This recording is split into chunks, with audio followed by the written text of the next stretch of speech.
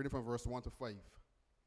Psalm 27, reading from verse 1 to 5. And it reads, The Lord is my light and my salvation. Whom shall I fear? The Lord is the strength of my life. Of whom shall I be afraid?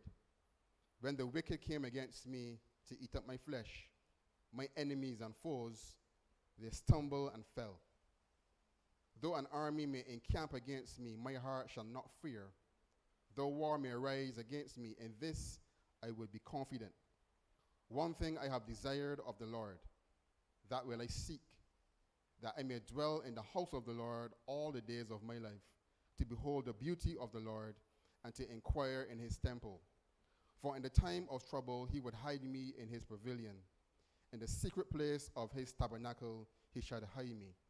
He shall set my he, sh- he shall set me high upon a rock. All right. Almighty Father, we give you thanks today for the place of worship that we can come again, oh God, and to just to see each other, to hear the songs of Zion, to hear what people have to say about you, to sing the songs, and just to rejoice in you. But Father, the best thing is to come to meet with you. And it's good that we have other persons that we can come with and to come before the King of Kings. So, Father, as we are here today, we pray that you would really minister through your word. We pray, oh God, that we would be encouraged, that we be strengthened, that we would leave here better than how we came, because the word says that the entrance of your word it brings light. And we know, Father, that whenever we hear your songs of Zion as well, Lord, that we feel encouraged as well. So, Father, thank you for this time, and may you have the glory and the honor, and may we have the victory in Jesus' name. Amen. Have your seats, people.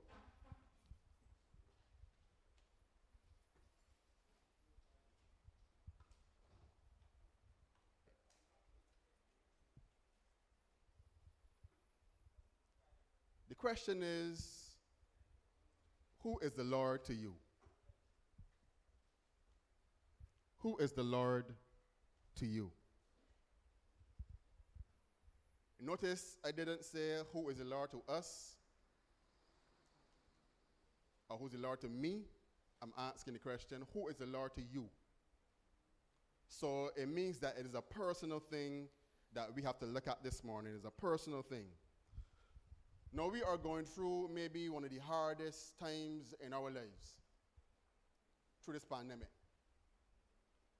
Um, hearing the news that comes on the radio on a daily basis, if you're not careful, it can frighten you. If you're not careful, you can live in fear. If you're not careful, you can just shut yourself in your house and send somebody to buy some things for you because you could be maybe afraid. No, I can understand that because we are different and we take things differently. And sometimes, too, based on how the news is presented, it, you know what I mean? It can take a different, um, have a different effect on you. But in these times, what we need, though, in spite of what we are hearing, in spite of what we are seeing, is a good understanding of who God is. That's what we need to know. Because the reality is that a man has to live not only what he is thinking in himself, a man has to live outside of himself, meaning he has to look and see what God is saying to him. Because situations are bigger than us, they're never bigger than God. But I, I really wonder how on earth people that don't know God make it. And I know we have substitutes. We have the bar that you can go to, maybe a spliff that you can light up, maybe something that you can have that to help you to get through these times. But for the church of God, for the people of God worldwide, we have to understand who God is. That gives you confidence when things are difficult. Listen to David. David says, The Lord is my light and my salvation. Whom shall I fear?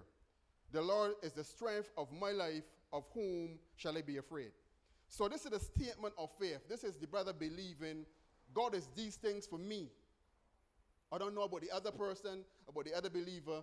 God is these things to me. Now, you have to understand that the Christian faith is a personal faith. Just as your fingerprint identifies you and you alone. You may have another person that may be close to your fingerprint, but your fingerprint is unique to you. When we are going through stuff, we have to understand who God is and know God for yourself personally. This is not a collective thing, you know. I'm glad when we come together as a group of people that we can worship God together. But I'm saying there are, there's a time when we dismiss and you go back home. Who is God to you then? God cannot be a God that is good to you only when you're in this church singing songs. When Belier touches you. When situation comes, they come personally, you know. And even if they come as a, as, as like for a big group of people, we still have to go through these things as individuals. I heard TDJ say something years ago, and I believe him. He says, When you are going through, nobody is going through but you. People can come and hold your hands, they can come and give you drink and give you rice tea and give you all things that you like. But the reality is, you're going through this. We can be helped by somebody coming alongside us, and that is great.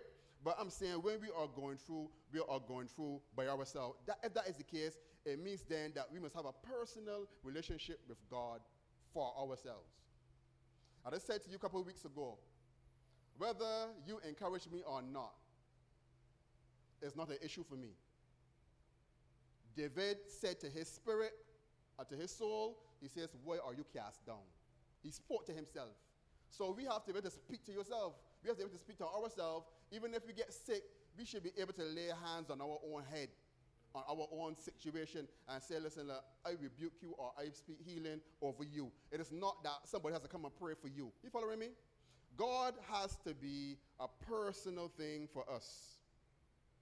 So David says, The Lord is my light and he is my salvation. He says, The Lord is my light, my salvation, and he says, The Lord is the strength of my life. Again, David is David know this for himself. So the question I want to ask again, who is the Lord to you? That's the question. Who is the Lord to you? You have to answer that question for yourself. So he says, The Lord is my light. Psalms 18 verse 28, it says, For you will light my path. It doesn't say that. It says, For you will light my lamp. The Lord my God will enlighten my darkness. For you will light my lamp the Lord my God will enlighten my darkness. Now, the, the, the psalmist again calls God his God. He will enlighten my darkness. When you are going through things, do you record? Do you have pencil and pen? Do you store things that God has done for you? Or do you store it on your hard drive upstairs? Do, do you put it in your memory? But if it's stored there, that's good because the, the, the psalmist says that the word he has hid in his heart. And, and, and, and even Solomon says, let not mercy and truth for, uh, forsake you. He says, write it upon, write it upon your neck, write it upon the tip of your heart. So if it's in your heart, great. But I'm saying, when you are going through things, it's good to journal or it's good to memorize that God has done this thing for you. You know why? When you leave there and you go on to something else, what happens is you can reflect and say, I was in a dark place, but God was my light. David is saying this, you know. David is not in a hotel, no, no. David is in a bad place, but David is saying that the Lord is my light. So, for you will light my lamp, the Lord my God will enlighten my darkness. Psalms 84, verse 11 says, The Lord God is a sun and a shield. So God is the one that spots light in my darkness. The fact, if you are moving with God, even if your circumstance is dark, your path is not supposed to be dark. And why? Because the Bible declares that God is light. So if you're walking with God, your pathway is illuminated at all times. The word of God is also light. So when you are walking with God, you have a clear place to see. So I'm saying, even if you're confused, it should be for a little bit, a little while. And sometimes we get confused when we turn our eyes inside too. When we turn our eyes in the situation or on the situation, we get confused that way. We magnify the situation and not magnify the Lord. Some says, oh, magnify the Lord with me, but we change it and we magnify the situation and it gets bigger. And then instead of having light now, this darkness. So the Lord God is a sun and a shield, protection and light. Isaiah chapter 60, verse 19 to 20 says, The sun shall no longer be your light by day, nor for brightness shall the moon give light to you. But the Lord will be to you an everlasting light, and your God your glory. Your sun shall no longer go down, nor shall your moon withdraw itself, for the Lord will be your everlasting light, and the days of your mourning shall be ended. This is God being my everlasting light. This is God being the one that looks out for me. This is the one that sheds light on my circumstance.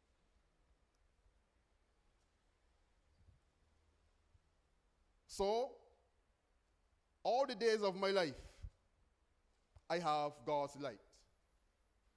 God dwells, the Bible tells us, in unapproachable light. Serious. So there's never darkness for God. And I believe that wherever God's presence is, there is light. All the times you see angels appearing onto people, um, even in the time of the birth of Christ, it talks about the, the, the angels um, um, appearing and a, a great light shone around people. Wherever God comes, it's light. You still here? So, Micah chapter 7, verse 8 says, Do not rejoice over me, my enemy. When I fall, I will, I will arise. When I sit in darkness, the Lord will be a light to me. The Lord will be what? A light to me. So again, we have to understand that God is not taking away bad circumstances out of life all the time. What he does is that he comes and he changes you and changes your situation by bringing his presence, by bringing his light to you. And sometimes I know that uh, as Christians, we want to pray and have everything to be back to normal and things. But I'll tell you something. Why do you think that God allowed David to go through the situation that he went through? If he didn't go through this situation, there'd be nothing for us to read, nothing for us to, to meditate on. We wouldn't have any, any, any testimony about God. And I'm saying that is another thing that we are, are, are, are, lacking with sometimes because sometimes we, we are blessed by God, and the only body that knows that we are blessed by God is you and God, nobody else. You don't share. David is writing a, a, song here, and the brother is saying, All of these things happened to me. But what I like about this too is not, it's not only David. We see Isaiah is saying this. We see that Micah is also saying this. So other persons recognize that God is light. So it's not an individual thing. Other persons come to realize that God is light. David says, not only God is light, David says, God is my light. Is God your light today? Can you say that? Or is this David's testimony?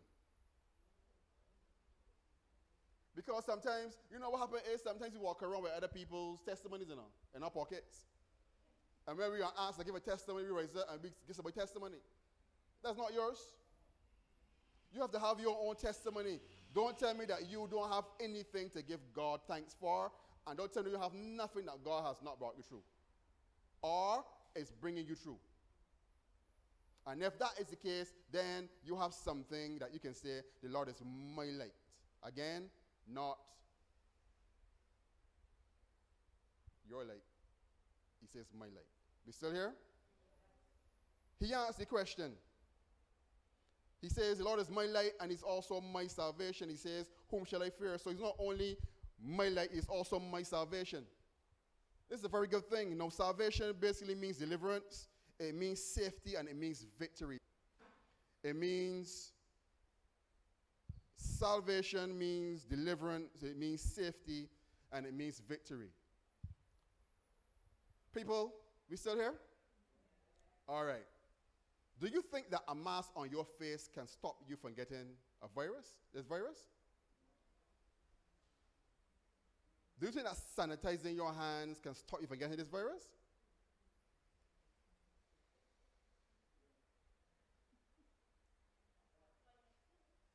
Do you think, do you think that the vaccination can stop you from getting this virus? Now, I want us to see something here, people.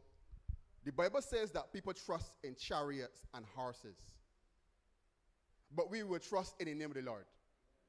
We have to be careful not to put confidence in things because I can tell you something. You can wear your mask, you can be vaccinated, you can sanitize yourself, and if God is not the person that is taking care of you, you are not covered. But, but the reality is, if you are not covered by God, then you're not covered. Pastor is not telling you not to wear your mask. Don't get confused with me. Pastor is not telling you not to sanitize your hands. And if you feel again vaccinated, that's your choice. I'm not telling you don't do these things. I'm telling you that safety is not in these things. Safety is in the Lord. David says, The Lord is my light and my salvation. God is my victory. God is my safety. God is my shield. So, where are you putting your confidence? That's the point. Because we ask the question, who is the Lord to, to me or who Lord to you? God is my light and my salvation. God is my safety. God is my victory. I feel safe and secure in Him. Even though things around me may not be safe and secure, I have to believe in my head, Wendell, God have me covered. God has me covered. Boy, it is vain to trust in horses. And that's what people did. People went down to Egypt to get better chariots and better horses because if you get better chariots and better horses, you will be safe. No, sir.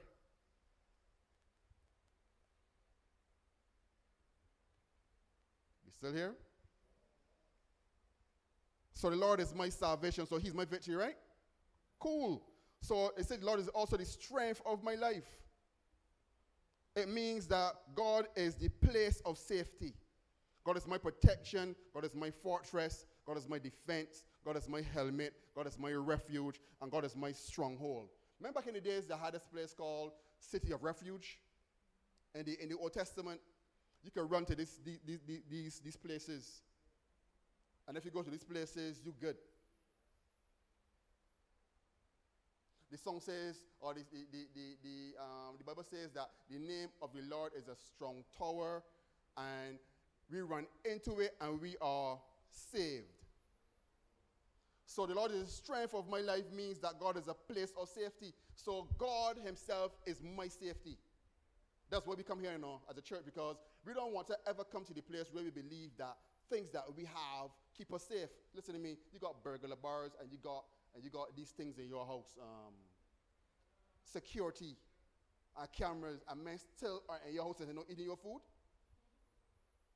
You still come home and find your whole house clean. So we don't trust in human things, we trust in God. Not telling you again not to get your burglar bars. Not telling you again not to get your stuff. I'm saying to you that God is our safety. The Lord is the strength of my life, which means that He is my protection, my fortress, my defense, my helmet, my refuge, my stronghold. We were coming up in, in church, we were singing this song, Jesus be a fence all around me every day. Lord, I want you to protect me as I journey on my way. Lord, I know you can. Lord, I know you will fight my battles if I just keep still Jesus be a fence all around me every day. You got to bring back them old tunes, you know. That's word. That's word. That is really what it is. So the Lord is the strength of my life. You understand what I'm trying to tell you now? That, that in God you are covered.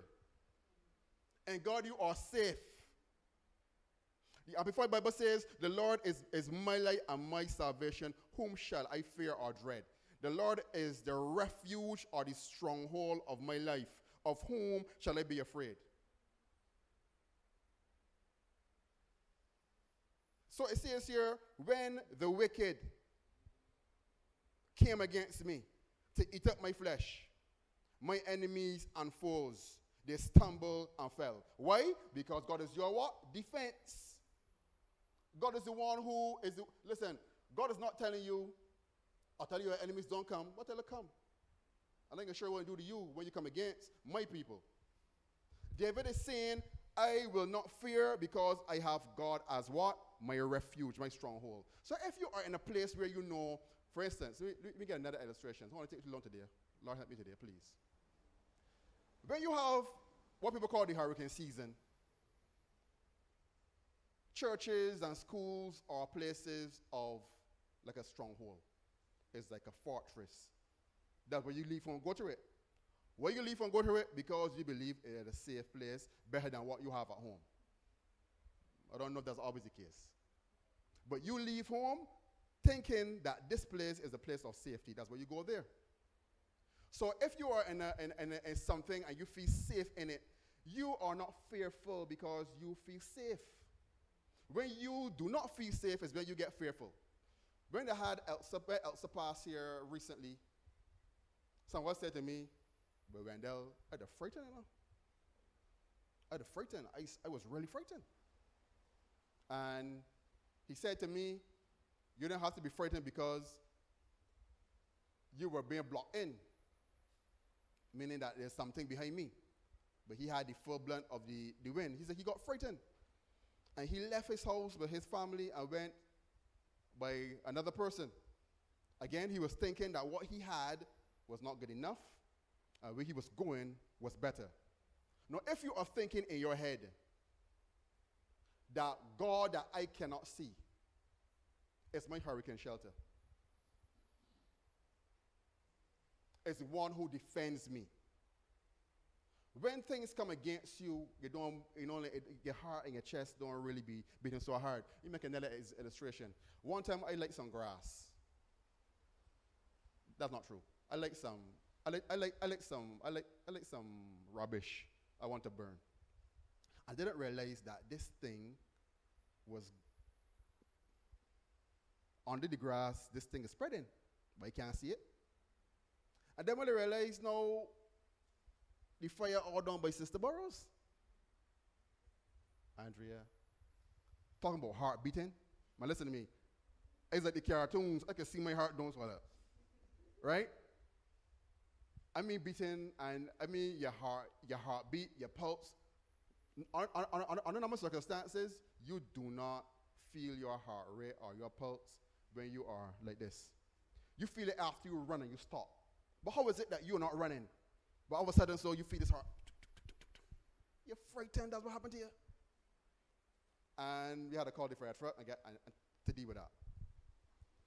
Now that was a case where that one was beyond me. Another illustration. Lord help me today.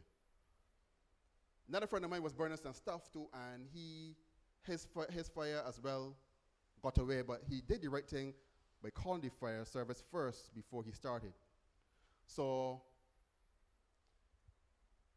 he called them, but then he called them back and told them that don't worry, he has it under control.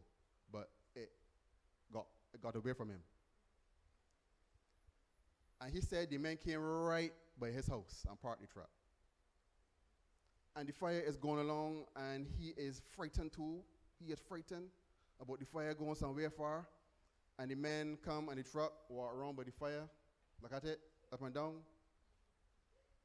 And the, man said, the fella saying, well, fellas, no water, we can beat this one. Men get pissed board and beat it and beat it and beat it and the fire out. But the man that doesn't have a clue what to do, frightened. What I'm saying to you is that when you know that God has you covered, the brother was frightened because he didn't have his skills. This man company see now, and the men are frightened. Men fight fires every day. The men know that this, this, this, is a waste of water. We can beat this one. And the man saying, Would these men not move faster? Would the men not do this thing quick? Before this thing go further? The men walking around cool, cool, cool. And but three men come and beat this thing and fire out. What I'm saying is, once you know that God has you covered, you can sleep and sleep well. There are many times people don't sleep because they're handling the situation themselves and not recognizing that he that keeps Israel will never slumber or sleep. So give it to the man that can't sleep. And you take a rest. We still here? So, so when the enemies came against me to eat up my flesh, my enemies foes, and foes, they stumbled and fell. Listen to the brother. He says, Though an army may encamp against me, my heart shall not fear. This sound normal? Though an army may encamp against me, my heart shall not fear. Though war may rise against me, in this I will be confident. All I'm saying here, and all the brother is saying here, is that when you know God to be your light and your salvation and your strong tower, you don't have to worry when enemies come against you. Know why? God has proven years ago that when your enemies comes against you, just like Pharaoh, you name them, all through the ages, people that came against the people of God, God fought for them. And they were covered by God. So the brother is saying, in God is my salvation and my glory. The rock of my strength and my refuge is in God. So why is it then that we become fearful when we go through situations as if it is the end? I heard about two persons who have cancer. And it's not good news to hear. And it's the Lord of mercy.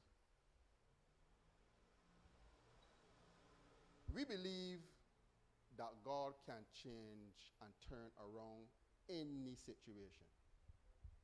You know, be truthful what it is that even though I may not have the ability to do something, doesn't mean that God doesn't have it. And there's some things we have to confess that are beyond us. But when you have confidence that the person that you have your trust in can do it for you, then you, re- you relax in God and not be flustered. So Isaiah chapter 12 and verse 2 says, Behold, God is my salvation. I will trust and not be afraid, for Yah, the Lord, is my strength and song. He has also become my salvation. Behold, God is what? My salvation. I will trust and not be afraid. If you have the King James Version, you'll see the word Jehovah or Jah. For Yah the Lord is my strength and song. He has also become my salvation. Where does my help come from? My help comes from the Lord who made the heaven and the earth.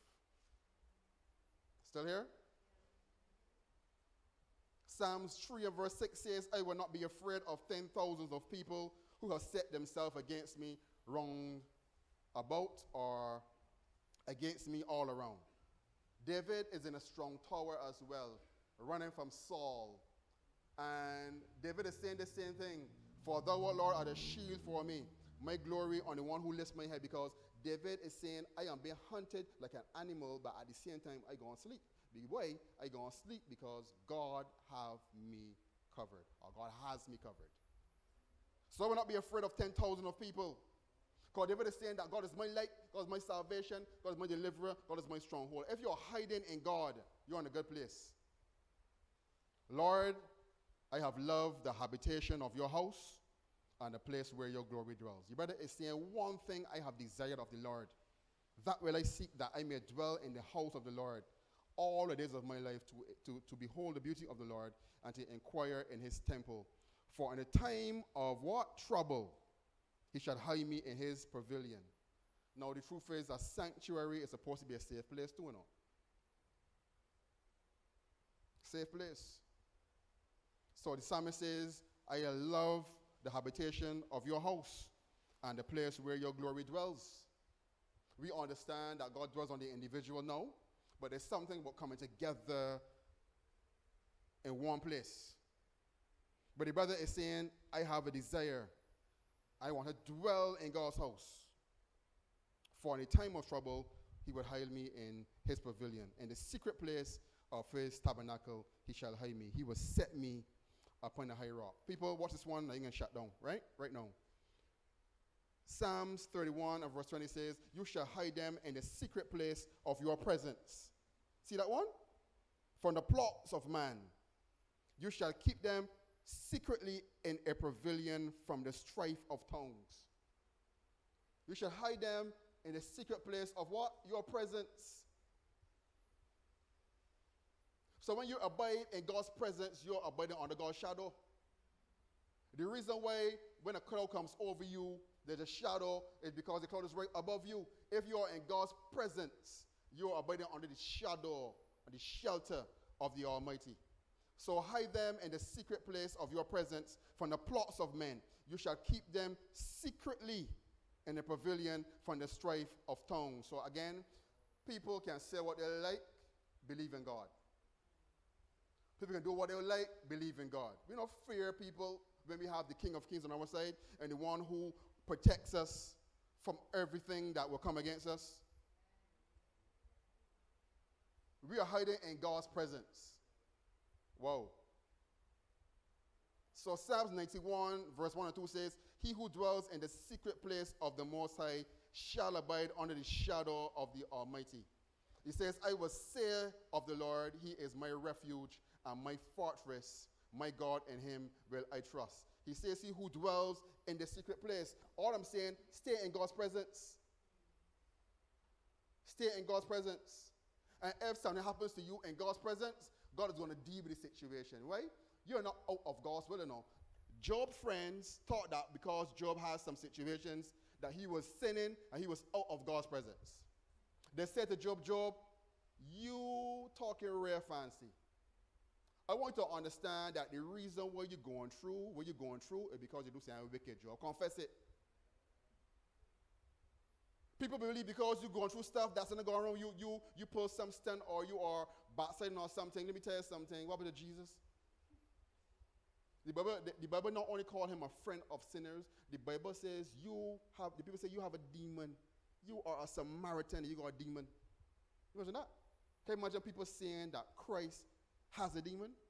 And he's also casting out demons, but the prince of demons? I like Jesus know.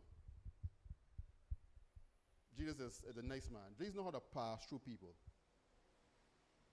Jesus and Jesus wasn't like the fridge, you know. Jesus don't keep people in, his head. I better think what he. Man, move on. Some of you like fridge and deep freeze. And everything that people say, we take on and take in. Put it upon ice. Meditate upon it forever, ever. Amen. Christ knew how to pass through people. Christ knew how to take licks and still function. Why? God has him covered. We still here? You know how many plots people already set for you that you escape? Hmm? But listen to me. They say sticks and stone can break your bones, right? Words can never harm me. I don't know about that. But I can tell you the truth. The words that people spoke that I didn't even hear God already got them trapped already. Because according to the word, it says, You shall keep them secretly in the pavilion from the strife of tongues. People lips. Ever sit down on tall as the people talk? I will say about you, I'll tell you. You get weak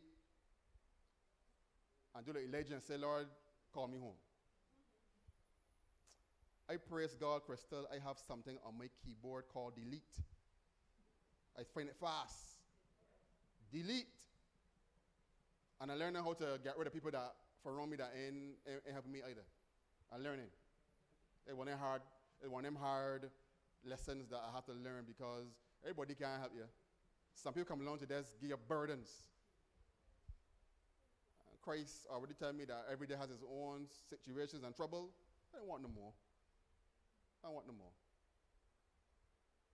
So again, situations will come, people. But God has you covered. That's the point I want to make. Keep on dwelling in God's presence. The Bible says that the better call Cain went out from God's presence. How can you do that? When since God is everywhere. You cannot live in God's presence, that's your choice. Not that God doesn't know where you are, because God is omnipresent. But you can decide not to live according to God's way and to buy under the shadow of the Almighty. I want to, look, for instance, then, God is my umbrella in the rain. God is my umbrella in the sun. The Bible says a shade from the heat. So God is these things for us. So I'm saying, even though we have man-made things that protect you from the heat, I'm telling you that God is the true one. You understand? Because we're just mimicking things that God has done already. So, people, who is the Lord to you? That's the question.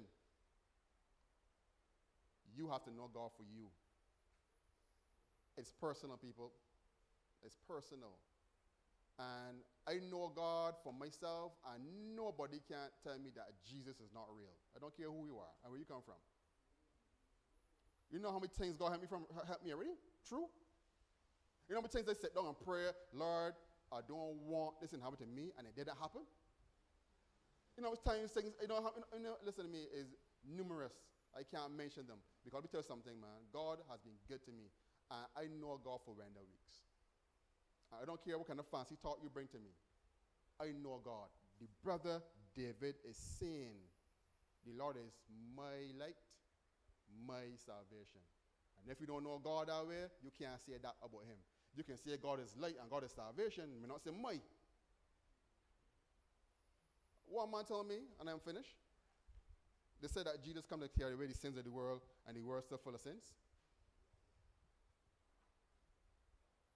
But he's not your savior, that's the point. Jesus is Savior and He's Lord. Amen. Is He your Lord, though? Is He your Savior? That's the point. You cannot say that He's not Savior because you are not His, the one that He saved. You can't change the fact. The fact is that Christ is the Savior of the world. There's another fact. Mia Mottley, right now, is the Prime Minister of Barbados whether you want her to be or not. That's a fact. You may not like her, doesn't change the fact that she's prime minister. Jesus is Lord and Master, even if he's not of you. But what I'm saying is, it's good when he is acknowledged as Lord and Master. And brother called Saul or Paul, when he was struck down on the way to Damascus, he asked the question, Who are you, Lord? and he asked him, Lord, what will you have me to do? He recognized that this is God. This was the one that he was persecuting all the time. Jesus said, Brother man, you are persecuting me. But he still have it in him to say, Lord, who are you, Lord? And then he submitted to the lordship of this person and became one of the best apostles. I want to finish this thing today. I can finish now. Paul, Sophie, is the man that came last and did more work than the 12 men that Jesus selected? Is that true? Reality. Christ chose 12 men to walk with him. Paul wasn't even but there. Paul persecuted the church, but when the man came in, the man said he labored more than all of them. Paul was a, listen, the best example for me of what a Christian looks like that is sold out, I can't find nobody else but Paul. Paul's a crazy fella. Paul was a man that the man told Paul, the man, the man that is wearing this mantle, they're going to take him to Jerusalem, they're going to kill him. And Paul said, Listen, to me, man, don't make me cry, man. I not only went to go up there, but I went to die for him too. So the man decided, Look, I'm going to serve God, and nobody is not going to stop me. The man had a a zeal that would not cut out. Plots of men, oh Lord of mercy, they had a Lord Paul down in a basket to escape the Jews. Paul was beaten so many times, shipwrecked so many times. Paul was in so much trouble, but Paul says that God delivers me and does deliver me. Paul. Then we have some preachers who can come and tell you when you become a Christian, life get easy and things don't happen to you like anyway. Who, tell, who kind of man is you talking about? when you have men that were more anointed than we are, I don't know, I, I don't know, I don't know if that's true anyhow. You that back. You have men who labored far more and had greater signs than we did or than we do. And the men had trouble and persecutions and hardships. So you want to walk, walk with the same spirit and live like you're on the ABC highway and don't know the battle roads, no bumpy roads. I don't know that Christianity. The fact is, the brother is writing here from a bad place. He's not in a good place. He's under hardships. Enemies running him down. But the man is still saying, God is my light and my salvation. Of whom shall I be afraid? Lord is the strength of my life. Of whom again? You can only say this if you know the man that you're serving, know the God that you're serving. Paul knew him. Jesus knew him. All the other men, like Elijah, this man knew him. Now, in this time that we have here that is so difficult that we're in, you better know God. I tell you something, otherwise this situation gonna be difficult for you. Because we turn on the news every day. X amount of persons going down to Harrison Point. X a persons going into this place. More persons dying from this thing. And we say, oh Lord, is the next one coming on, Lord? No, you're not. I don't think about that. I can live and not die. For real. That's what I believe. And according to the same Psalms 91, it says that a lot of them can fall upon your side, 10,000 at your right hand, but shall not come near you. I believe in that Wendell Weekes, even if this thing come around me, it can't kill me. I believe in that.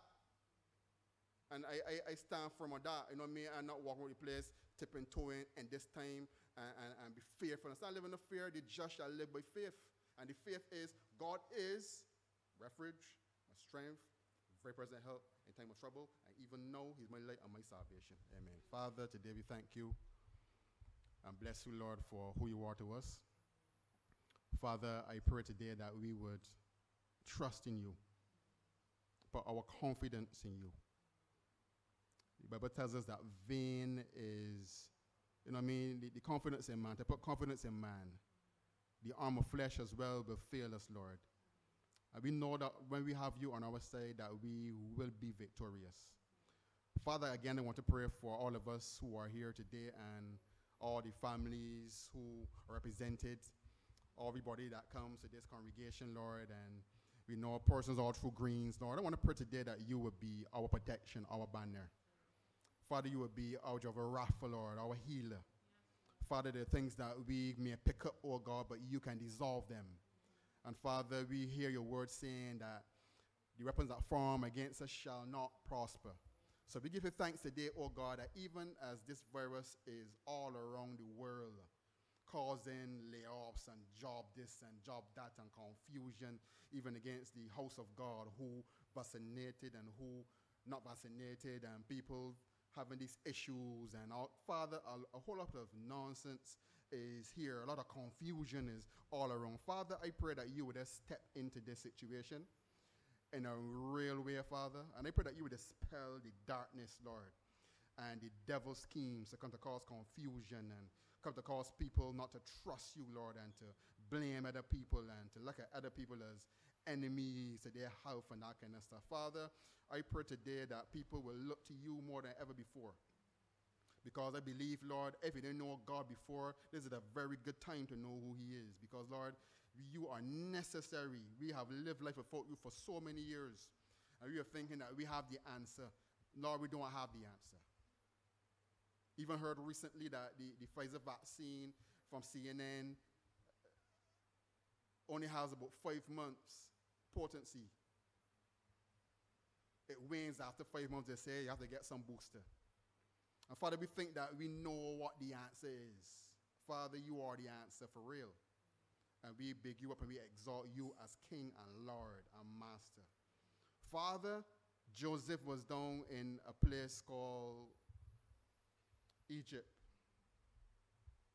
Had a famine for seven years, Lord. Seven years.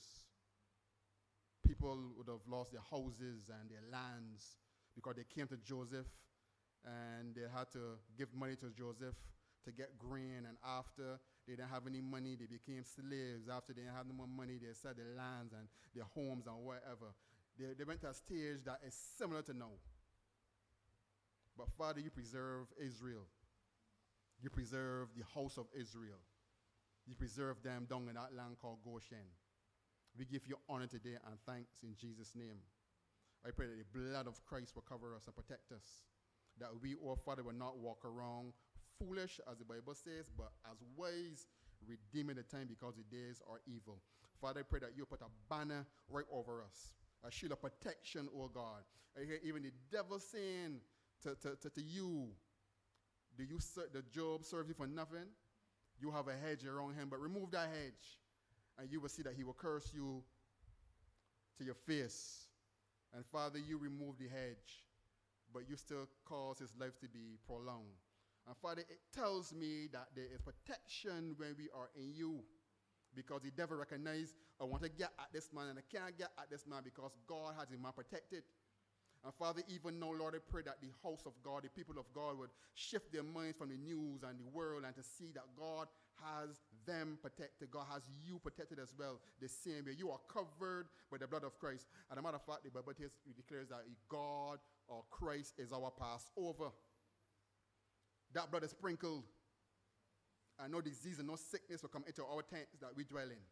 So, Father, every household and every village, Lord, I pray that the, the, the, the Passover blood will be placed and sprinkled, and sprinkled on even by faith now over all of us, that we, oh God, will be covered from this thing that is coming past, passing through the land.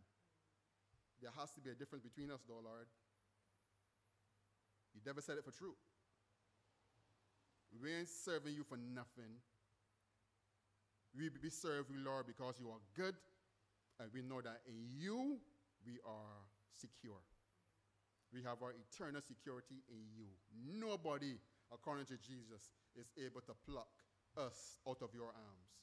According to the word of God, underneath us are the everlasting arms. Father, we are moving in shelter.